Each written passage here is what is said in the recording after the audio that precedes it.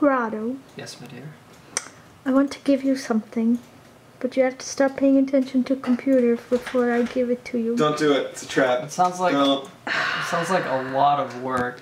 It's really not that hard to not pay attention to your computer. No, it's, it's the thing hard. is an addiction.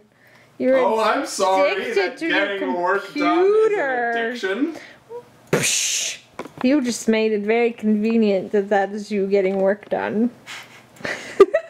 Yeah. Hello. Yeah, doing things I enjoy and then turning it into work is like, like pretty much the greatest thing in the world. Yeah, but you're Yeah, addicted to that's it. so convenient. It is so convenient. Oh.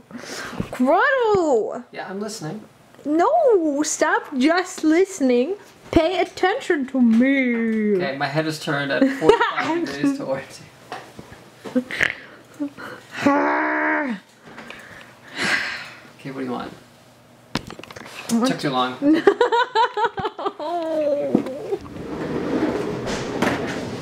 What do you want? What do you mean, what do I want? What do you want? You have to apologize. No. I was gonna give you something that I handmade that Oh. took lots of time. And now you're being mean to me. Good. Why are you so rude? Because it's fun. It's not fun. It is fun. Look what I made. Look what I made you. What is it? It's a friendship bracelet. Is it really? Looks like a mustache to me. I made it for you. Did you? Yeah? Where's yours? Have one yet. Well, then it's not a friendship bracelet. It's Yes, it is one. because I made it for you. Isn't there supposed to be like matching one? Like you're supposed to have one. Fine, I'll make another one and then we'll match. Why blue? Because blue is my favorite color. What's my favorite color? Green. Yeah.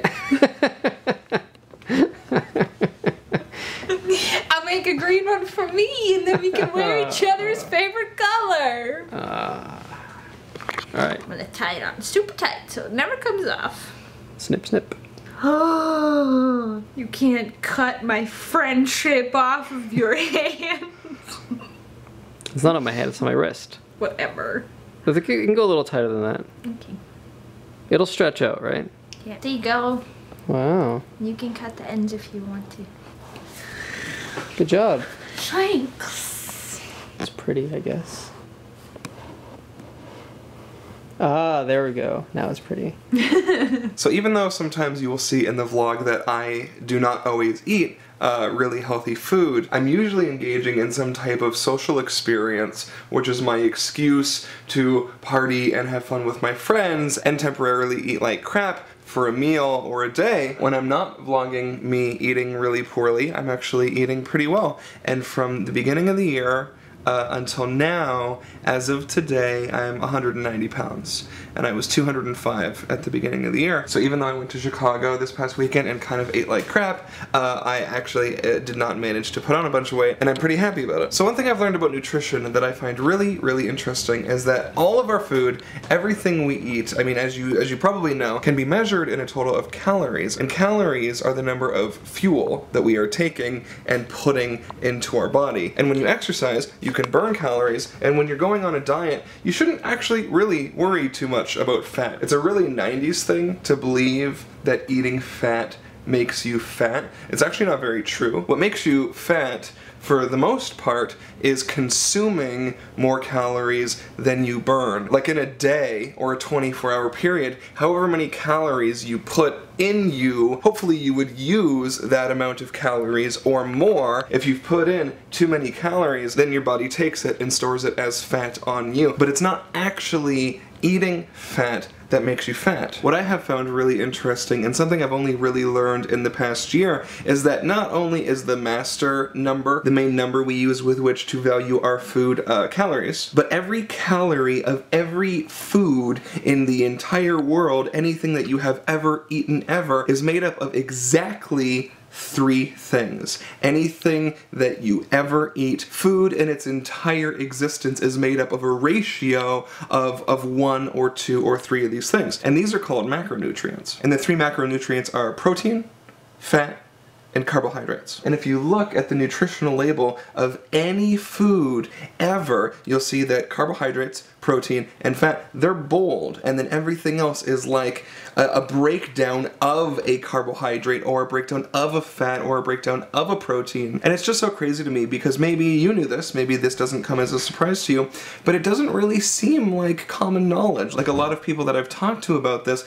didn't know that sugar was a carb and didn't know that fat isn't necessarily bad for you or necessarily good for you or that fat is any better or worse for you than carbs. We keep searching out labels that say low fat, no fat, as if eating fat makes us fat, but it's not, eat, that's not how it works. When you're looking at it very simply, and I know that it is more complicated than that between the makeup of people's bodies and their chemicals and their hormones, like everybody lives a different life and everybody's body is different, but at the real root of it, the baseline kind of across the average human being, what you're really looking at for weight loss is calories in, versus calories out. And luckily, we as human beings burn most of our calories just by living, just by having a heartbeat and having lungs and having blood pumped through us. Like even while you're sleeping, you are burning calories. If you don't exercise in a day, you are burning calories because you walk, because you breathe, because you think, because you blink,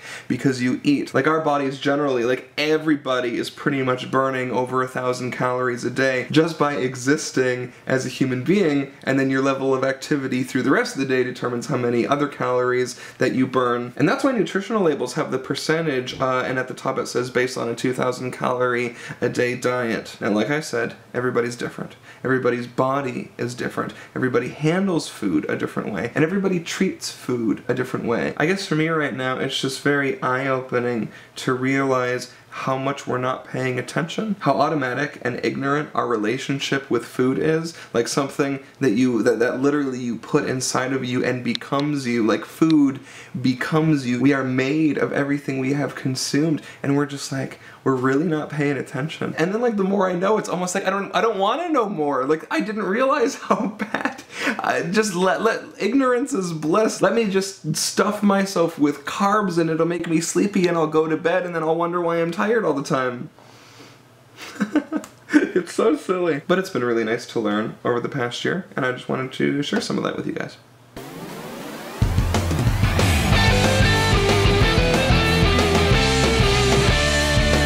Give me daily vlogs. I want them in my subscription box. I wonder who might drop by. Even though sometimes it's Canada outside. So don't go away. We're here every day. It's not Apprentice A, it's Apprentice A. Hey, hey, hey, hey, hey. Home is where the vlog is.